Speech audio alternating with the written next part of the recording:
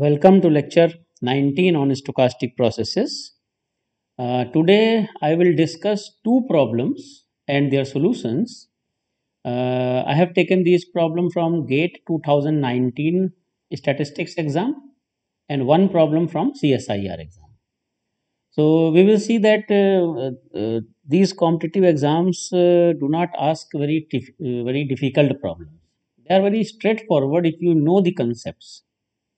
So the first problem is from uh, GATE 2019 statistics exam, the question number 37. What it says, it says that consider a discrete time Markov chain on the state space 1 2 with one step transition probability matrix P given by row wise 0.2, 0.8, 0.3, 0.7. Then we have to find limit n tending to infinite p to the power n is option A, option B, option C, option D. So we have to find limit of p to the power n. So we have seen that uh, if uh, your Markov chain is finite and if it is irreducible and aperiodic, then p to the power n is nothing but the uh, stationary distribution. So that means uh, uh, we can find the stationary probability distribution and based on stationary probability distribution we can find p to the power n limit of p to the power n. So this is the uh, this is the transition graph.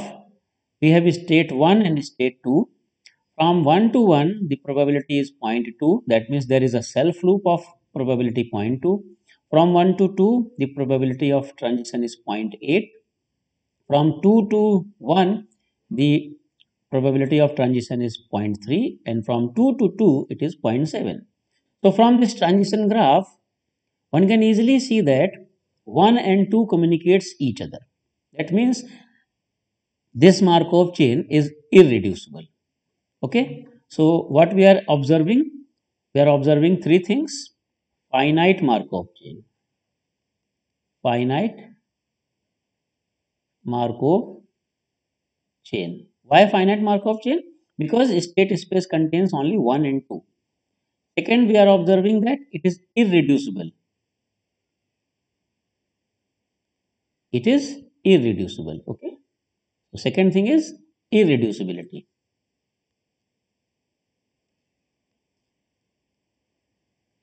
And third if you focus upon there is a self loop from 1 to 1 that means if you leave one you can easily um, uh, return back to one in one steps or in two steps or in three steps or any steps any number of steps. That means uh, one will have period one. So this chain is aperiodic. Because it has period 1 similarly 2 will have period 1 since it is irreducible both will have same period. So this chain which is given to us that is finite markov chain irreducible and aperiodic. Now we know that if we have a finite markov chain which is irreducible and aperiodic then we will have unique stationary probability distribution. So this implies the existence the existence of a unique excuse me stationary probability distribution.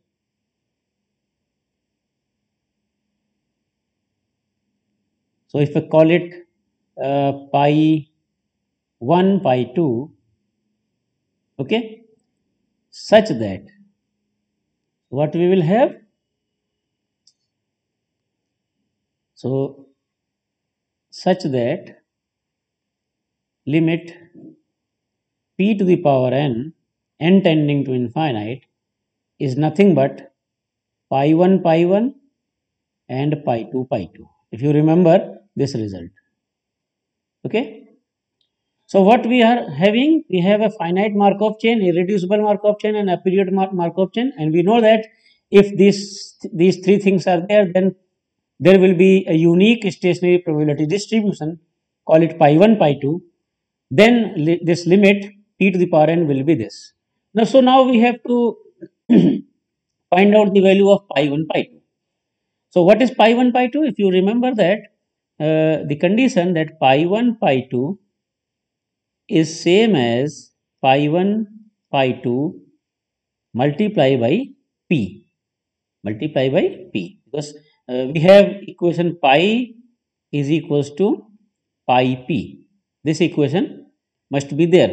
Then only pi will be a stationary probability distribution. So, 0 0.2, 0.3, 0.8 and 0.7.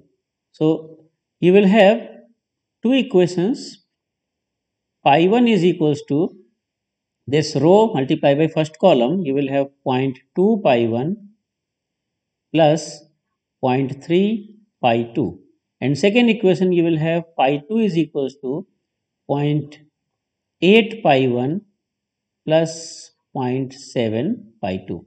Now recall that I have uh, discussed in uh, detail that uh, we have only uh, here we are getting two equations but only one equation is effective because these columns are not linearly independent. They are linearly dependent because column sum will be 1 1 so you just consider one of these equations. You may discard any one of these equations. So i will focus upon this equation first.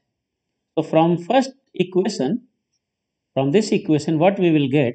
We will get 0.8 pi 1 is equals to 0.3 pi 2.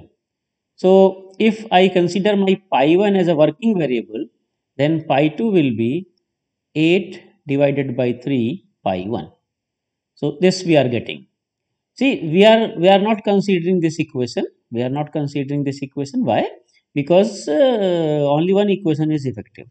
So, we are getting pi 2 is equals to 8 by 3 pi 1. Now we know that pi 1 plus pi 2 must be 1.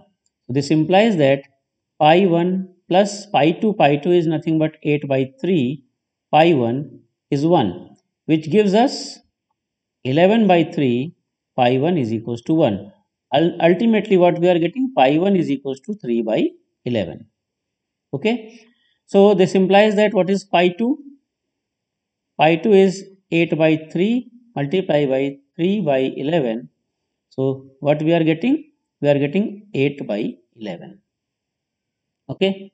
So, p to the power n limit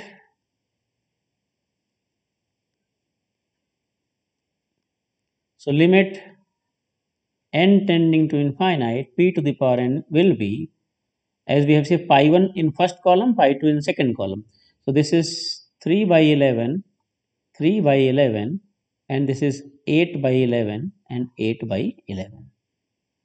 So this is the limit of e to the power n.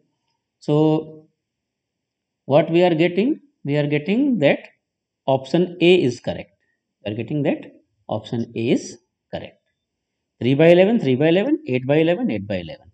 So this uh, was a straightforward application of uh, ergodic theorem because uh, our chain is finite Markov, irreducible and aperiodic. Then there exists a unique uh, stationary probability distribution with this condition that limit p to the power n is this matrix. Okay, so uh, this is done.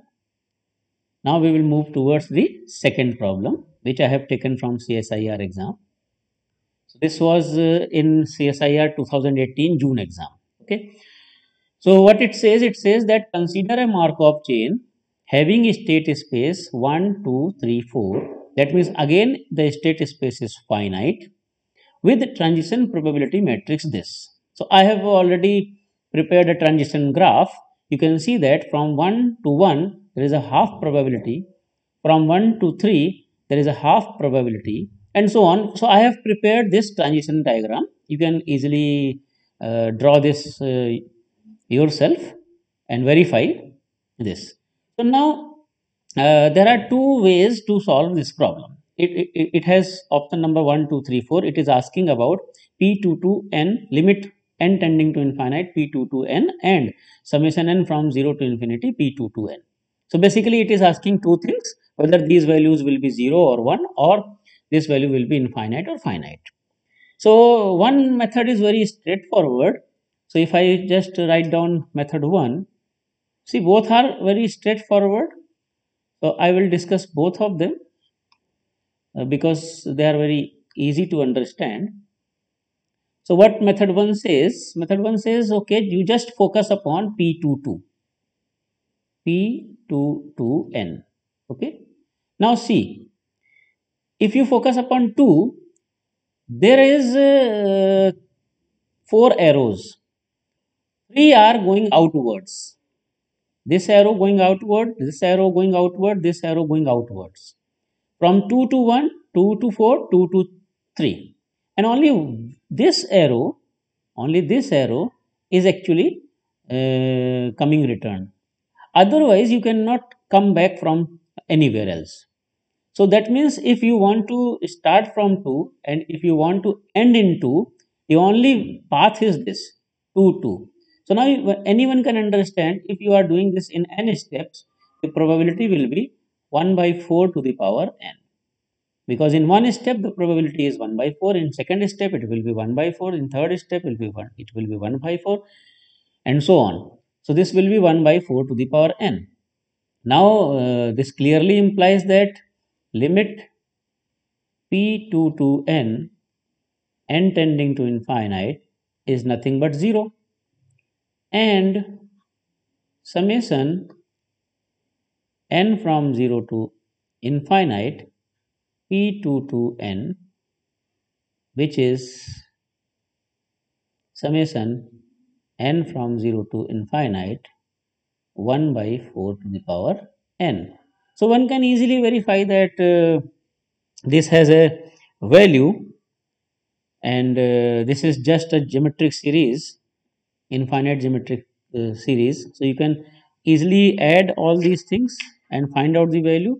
So if you calculate this, this comes out to be 4 by 3 because n is equal to 0 it will be 1 1 plus 1 by 4 plus 1 by 4 square and so on so if you just uh, use the formula a divided by 1 minus r. That means first term divided by 1 minus the uh, common ratio. So you will get uh, 1 divided by 1 minus 1 by 4 that means 1 divided by 3 by 4 so that will be 4 by 3 so this is infinite. This is finite. So this is straightforward. That if you can find out p2 to n which is 1 by 4 to the power n because uh, from 2 to returning to 2 there is only one path. So the, this is very straightforward. But uh, i want to discuss second method also because i have discussed the lemma. So I, I i i want to discuss that lemma here also. So use of that lemma method 2 so now you can see that uh, this state 2 one can easily easily uh, understand that state 2 is a transient state. Okay? This state 2 is a transient state because whenever you will leave 2 and uh, enter into 1 4 or 3 you will never return back. So state 2 is a transient state clearly. You can verify this also. Okay? So state 2 is actually transient so if it is transient, recall that from this lemma, uh, which I have discussed here, uh, this I have discussed a lemma here.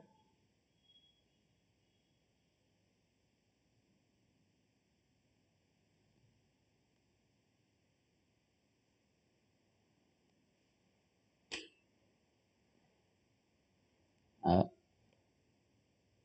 recall this lemma. What it says.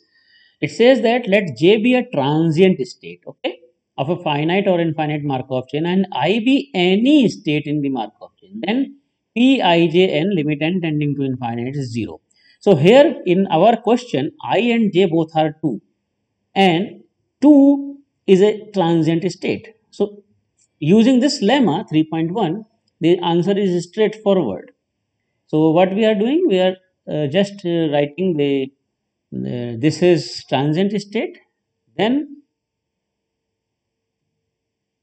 then by lemma 3.1, we have limit n tending to infinite p to 2n is 0 okay?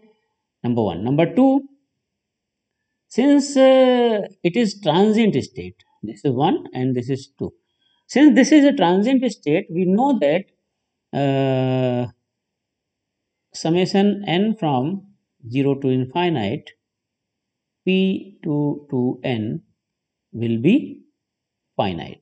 This is straightforward. We have already seen that uh, a theorem that if uh, state j is transient then summation p j j n will be a convergent this will be a convergent series. If it is uh, recurrent then this will be a uh, divergent series. So this is a straightforward results we have seen that. So if you remember the results if you can remember the results different theorems then you can just apply those things also here.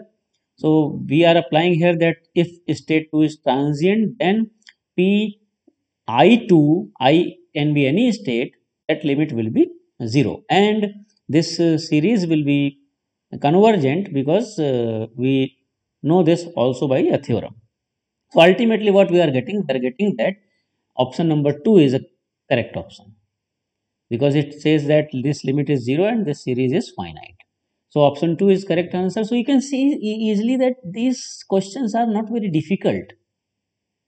If you have understanding of the basic concepts and you know the idea behind it and uh, if you remember the results, these are very straightforward uh, problems. So uh, I think uh, it will help you to uh, prepare for your uh, competitive exams also. So you just try different problems and I will try to discuss as much as I can. So I will stop here this lecture. Thank you for watching this uh, video.